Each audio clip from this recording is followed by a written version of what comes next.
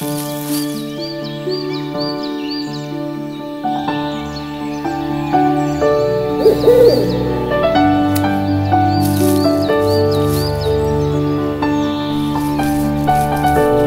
es nicht schön, einmal alles hinter sich zu lassen?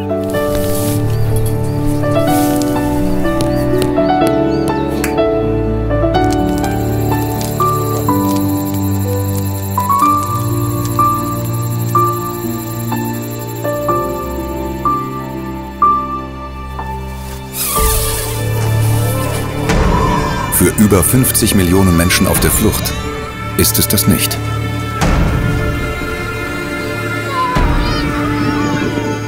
Helfen Sie jetzt. www.entwicklunghilft.de